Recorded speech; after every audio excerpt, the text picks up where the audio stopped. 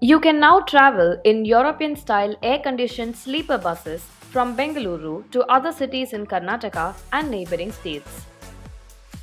Ambari Utsav is the newest addition to the Karnataka State Road Transport Corporation's premier services.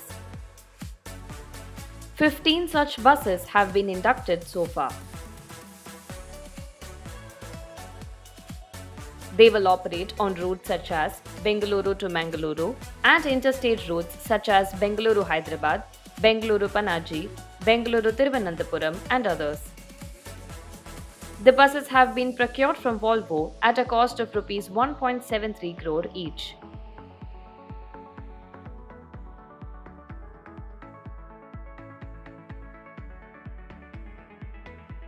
Each bus has 40 sleeper berths with panoramic view windows.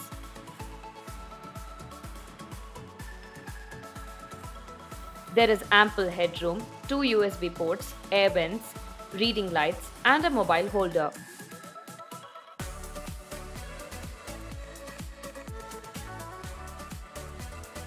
This Volvo multi-axle sleeper vehicle is 15 meters long.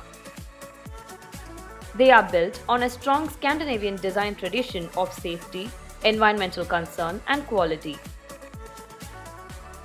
The bus has enhanced stability and control with an electric braking system including ABS, engine brake, hill start assist, integrated hydrodynamic retarder and electronic vehicle stability control. we kept the electric bus tickets less than Airavat. At the same time, uh, the Ambari Utsav tickets will be 10% more than previous Ambari because the bus is very huge, uh, also it's a very of very huge cost. It's 1.7 crore per bus. We need to meet out the cost. Otherwise, compared to the luxury travel the bus will provide, the ticket will be definitely less. And compared to any other competitor in the field, our bus fare will be definitely less